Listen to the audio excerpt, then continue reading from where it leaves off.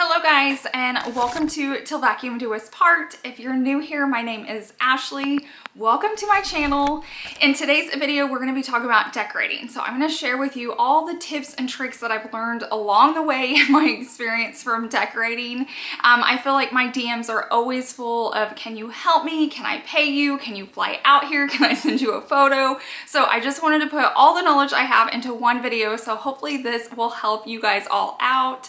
If you're new here, go ahead and click that red subscribe button down below and that will notify you every time I post a new video here on YouTube. But now let's go ahead and jump straight into today's video.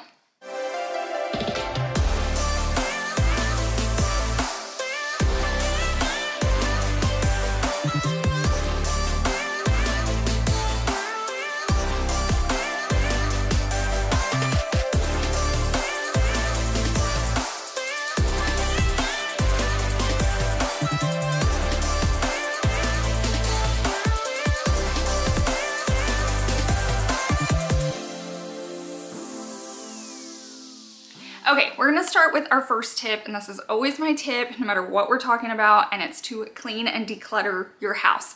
I know we said we're gonna talk about decorating, but it doesn't matter how big your budget is and how nice your items are. If your house is cluttered or dirty, it's not gonna matter. I personally feel like even a small, simple, humble home that's clean and organized is always going to show better and feel better than a million dollar home with the best items in it. So this is a really easy way to start out. This costs you zero dollars. It actually may even make you money for the decorating you wanna do. So start picking out all those pieces you don't need, declutter them out. If it's dirty, just start cleaning them. And I promise you, that's just like the perfect foundation before you start decorating your home home. Okay, so now we're gonna move on to the next tip, which is getting inspired. This is a really important one because you gotta figure out your style, especially if you're on a really tight budget. So you guys have watched me through the years change my style a lot. It has taken time, but I'm also able to do that because it's my job. But if you're not wanting to waste a ton of money and time, you really have to do your research to figure out what you like. Because in my head, I really thought I was a glam girl. I thought I would love a glam home. So when we came over into this house, I did a lot of gold and crystals. I switched to like tufted furniture. I did all of that. And once it was done, I realized it was not my style at all. And so we started making the switch. Now I've known for a long time that I was neutral. I love neutrals. I will say in my very first house, you guys weren't a part of the journey at that point. We weren't here on YouTube. I had color, but I kept going into my friend's house um, for life group and I kept trying to figure out like, what do I love about her house? So as you're going in friends' houses, as you're going on Pinterest, it's not a way to go and like get jealous, get inspired. Figure out what you're liking, take pictures of it, take snapshots, start narrowing down what it is that you're liking about those spaces. And for me, I finally asked her, I was like, what's so different about your home? Because it was still cozy, it was still inviting, it was still decorated, it was all neutral. She was like, I don't have any colors in here. So the first thing I did that week was all the color out of my house. And of course it was super bare. And then I went and got all white things and brought them in from Ross. And I was very, very disappointed. so I've learned a lot of tips of how to make neutrals work. And if you stay tuned, I'm gonna be sharing those tips with you as well. I will say though the best resource and it's just easier to do is Pinterest just so you're not going into a ton of homes and snapping pictures. Just go on there even if it's just short little angles start really figuring out what it is. Is it pops of black? Is it the greenery? Is it that there is bold color or pattern? Um, the more screenshots you take you'll be able to kind of analyze them and look at them and start to figure out why you were choosing all those different styles and what they have in common. Okay, so now that we got through all those like fundamental pieces, now it's time to start decorating. So say you have the pieces that you're gonna use, they're in your home. Now I'm gonna start taking you through my home and showing you tricks on how to use the pieces that you're decorating just so it can look beautiful and very pleasing to the eye. So decorating can be really hard to do, especially if you want it to be pleasing to the eye. So I learned along the way to decorate in threes or odd numbers. So if you're doing a cluster of things, it doesn't really matter so much. But if you're decorating like a table or a coffee table or little nook, it's really weird to just put two things on it. So try to find one more thing, making it an odd number like three, and it just balances out a little bit better. There's something about two, it just looks unfinished, but if you'll add one more thing, it completes the space. So you can see as you look at clusters throughout my home, most of them are in groups of three or five, so they're like odd numbers. Now, I don't get it right every time, but I don't like to just put two things out. Um, so I always try to work with those odd numbers.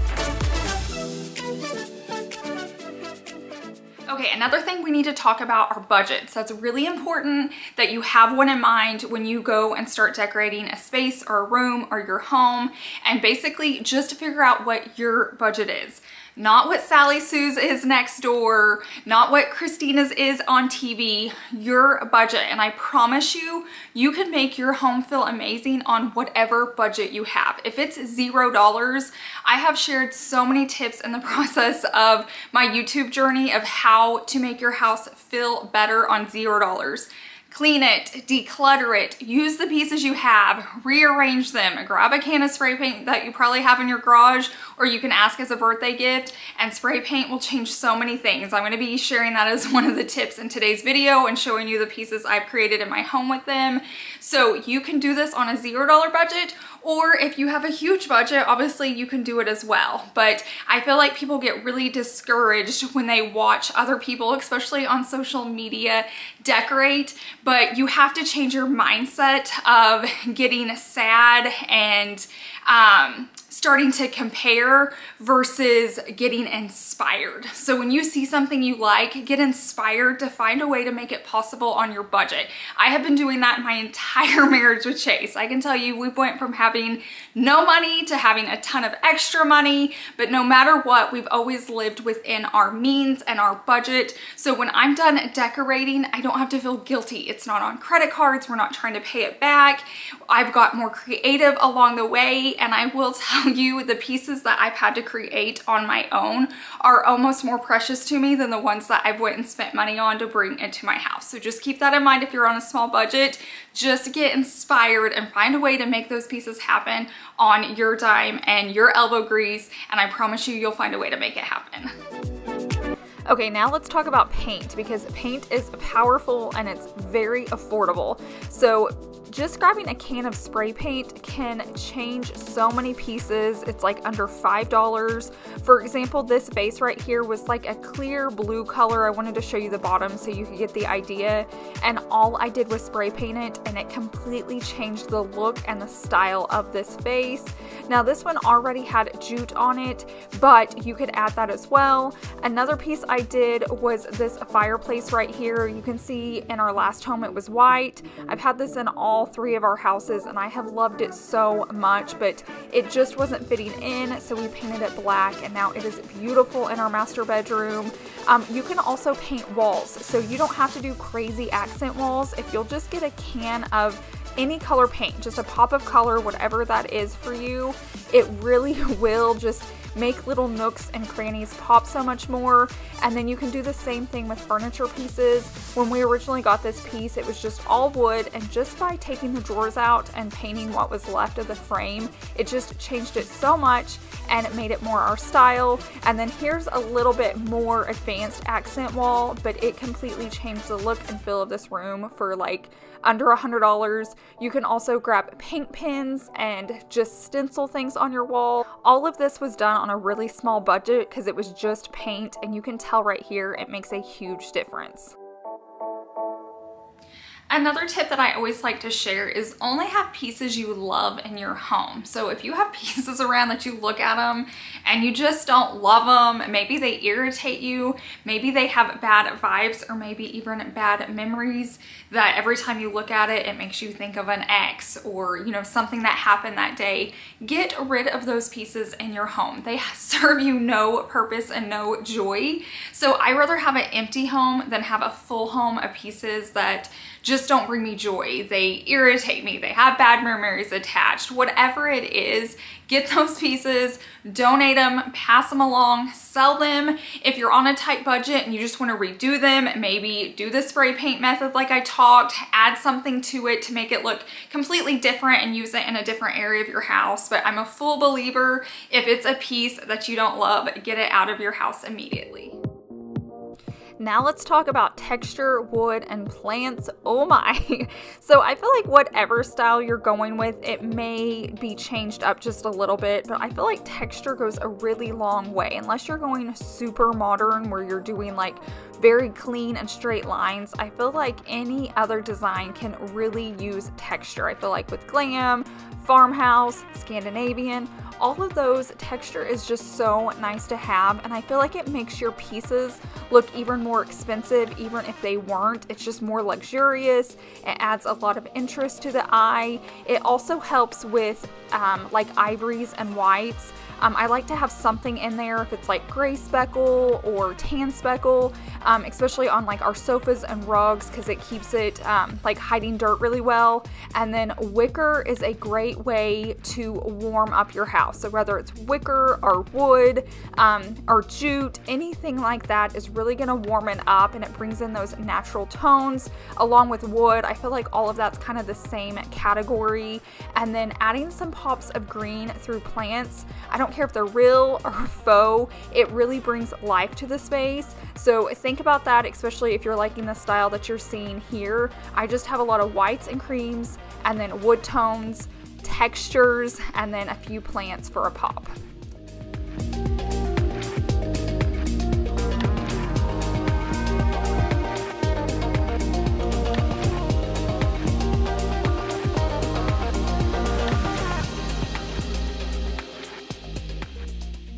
The next thing I want to talk about, especially if you're like in small spaces and need extra storage or anything like that, find pieces that serve multiple functions. Like this right here, typically I'll have decorated, but it's dance season, but I'll keep like a coaster and a candle and a plant on it. And so I can use it when I'm taking a bath or Chase sits here a lot when he's putting on his shoes. But I get ready um, right here and I get Savannah ready, especially during dance time and I have to do her hair. This is so sturdy. I just drag it over and I can do her hair here. I don't have to get a chair from another room. I don't have to drag anything out. So this has been huge for me. I can use it when I'm in the bath. Chase uses it to get dressed and I use it to get Savannah's hair done. And it's all one decor piece. So as you start buying things, think of items like that that will really make your day run smoother. Another tip are baskets. They are so good to have spaced through your entire house. Um, when Savannah was little, I would keep toys in baskets and then just throw a blanket over it. And so when someone came over, we could just hurry, toss everything in there, throw the blanket on it, and it looks like a nice decor piece. You could also do it with pillows as well. Obviously, we don't have toys in them now because Savannah's older, but I did that a ton when she was little. So I could pull those out. There could be tons of like blocks or Legos or cars or whatever, puzzle pieces and then you just throw the pillows on top and your space looks grown up again. We also had like a big square ottoman when Savannah was growing up. It was leather. We loved that thing. And what was so nice is it opened up and it was full of stuffed animals and blankets because she loved them. So when you're decorating your home, think about those pieces, even if it's a little bit more money. Um, it's things you can keep stuff in. So even if you don't have kids, it would be nice for blankets, remotes, whatever you have. Um, if you don't have storage, buy pieces that like open up. Okay, the next thing we're gonna talk about is something that drives me crazy. It's something I'm always hiding, always tucking away. I'm sure a few of you already know what I'm about to say, but I feel like just hiding wires and cords will elevate your space so much and it's free to do. Um, anytime I walk in a room and I see a cord, like I start pulling out packing tape. You guys know I have every gadget that you can think of, but I feel like it really can cheapen the space and it just makes it look cluttered. Now, if your wires and cords don't bother you, that is all that matters. This is all about just creating spaces that we love to go home to. When you walk in your home, it should be a calm, happy place. And so that's why I'm sharing all these tips. If I walk in and see cords, I'm not a happy mama. so I like to hide those. So let me show you a few ways if you're new here how I do that. I'm gonna share all sorts of ways and all different budgets. But the first one is when we finally upgraded, Chase and I have never had like matching um, furniture for our bedroom and it's still not all the way matching but we grabbed two nightstands and a dresser but one thing that made me so happy when these came home I didn't even realize in the store but it had these built in right here so you could plug in your lamps your chargers all of that so if you are searching for new furniture that is something to look for now don't go out and buy new furniture for it unless you have the budget um, it's just next time you're looking a lot of pieces have that now there's also tons of gadgets on Amazon to keep cords from like falling down and having to search for them to plug things in. So I can link these for you, but just making simple switches like that when you are purchasing pieces is just a smart way to do it because it makes life so much easier. Now I'm gonna show you another cord hider that I love. This is basically so you can push your furniture flat back. So when you walk into the space, I never want like a huge gap between like our dresser and the wall. And so I found these sleek sockets a few years ago. I can't seem to buy enough of them. I love them in my house. I wanted to show you a before. I'll pull this out so you can see what I'm talking about. Um, and I'll link this down below as well because I feel like every home should have a few of these.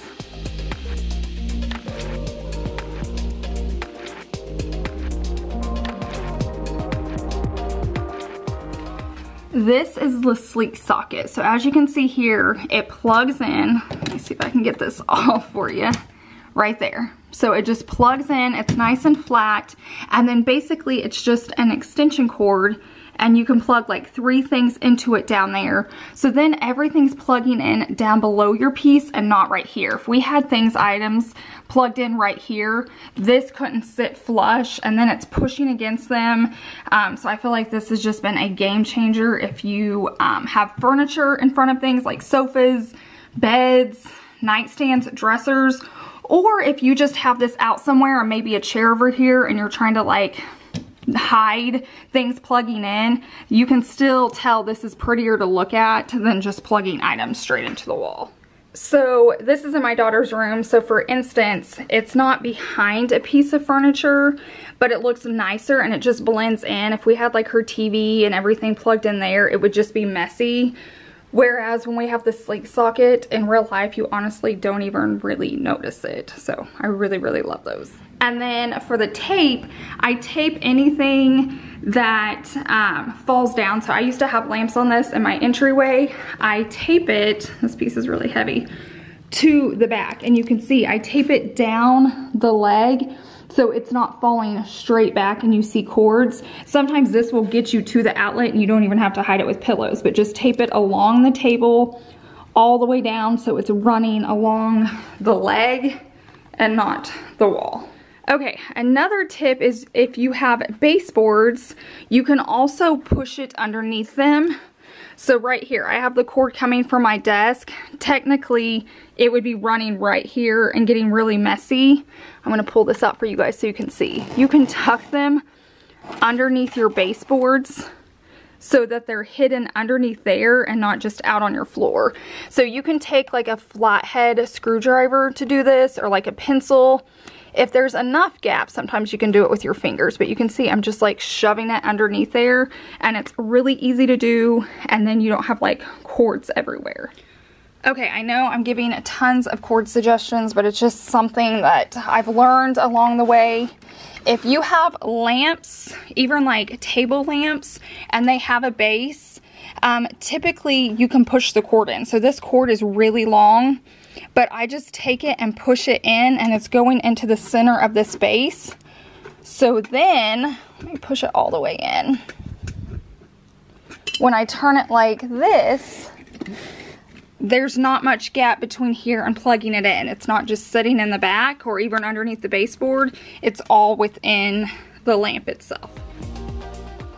Okay, the next tip has to go along with your bathroom and I love using kitchen towel sets in my bathroom. They're so much nicer, they have so much more details, and they're typically um, cheaper as well, so I've never really understood that. So I threw out like normal bath towels a long time ago, and I just feel like these look way more expensive for cheaper. I got this set for $5.99. Um, they come in all different sizes, all different colors. I love to get mine at like Ross or Home Goods. So it's just a nice way to um, kind of fancy up your bathrooms, even if you just do this in a guest bathroom, but I do it in all of mine. And when I made the switch, I've just loved it ever since. And I just love having those extra details on the hand towels themselves.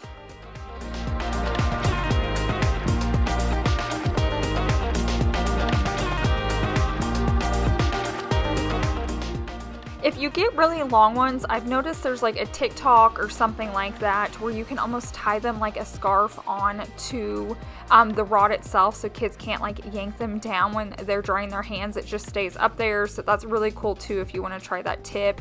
But I wanted to show you up close kind of the difference. Like to me, the one on the left is so much nicer. It's even a lot bigger, but you can get smaller kitchen um, towels as well. This one was larger, but I just loved the design on it. A good way to like freshen up your space or make it feel new or just fresh again is to use what you have but rearrange your pieces. I do this all the time on my channel. I call it the itch to switch. You can do it as big or little as you want. So I even like switching rooms sometimes and flipping things out just to make my house function best for us. So I know it freaks a lot of people out, but this is our home and I want it to work the best that it can. And some years it looks one way and some years it looks another. Sometimes I need that window with the light or I want that darker space for my daughter. Whatever it is, it's okay to switch up your spaces and it's also okay to switch up your decor. So I feel like it's hard for people to do this. They put a plant in a particular spot and they feel like that's the only place for it or maybe it's a throw or a pillow. That's also why I really like decorating with neutrals and then you can add a pop of color wherever you like it. But if most of your items are neutrals, you can use it throughout your entire home. So that one piece that you spent money on, whether it's a lot or a little, can be used several times. So the best way to shake things up, say you're working on your living room or something, is to take all your living room decor down and put it in the center of your room and then start putting it back up. If you're just trying to move a few pieces, sometimes you don't get as creative. Another way to really change things up is to do like two rooms at the same time. So pull out all your like dining room and kitchen decor with your living room and put it all in the middle of a space somewhere. So like on your living room rug or on the kitchen table, then start putting those pieces back out and it really will make your space feel new again and you spent zero dollars. Okay, another tip I've always done and I've caught myself doing it is when I put a new piece out, I stand back and look at it to make sure I like it. So walk in from the front door, come in from the dining room, look at it from all angles so you can make sure it looks good in that area. Also, if your house is really dark, um, add some mirrors throughout your house and it really does brighten up the space. It also makes the spaces feel larger so you can use those to make your small rooms feel bigger and you can also double stack them to make your walls seem taller. I feel like you can use these in so many places so grab some mirrors. I feel like Goodwill and lots of places have them and it really will brighten and make your space look larger. Another hack that I try to stress all the time is hang your curtains as high as you can. It's gonna make your walls and room once again feel so much higher and more grand. You can tell from this drawing right here, it just makes the window seem larger and it also makes the room seem like taller or grander and it's such an easy thing you can do. Okay guys, I really hope you enjoyed all these decorating tips and hacks today. Um, decorating your home can be a journey, so don't feel like you're in a rush. Take your time. You're gonna learn things as you go. And the number one tip is just to make sure you love it. It should never be decorated for somebody else. You should love the things in your house. It should bring you joy and you happiness and whatever that looks like is right for you. So remember that on your home decorating journey. Um, I hope you guys enjoyed enjoyed it. Let me know your favorite tip down below in the comments section. And once again, if you're new here, go ahead and click that red subscribe button and I will see you guys in the next one. Bye. Cause you gotta smash like, subscribe, click the links down below so I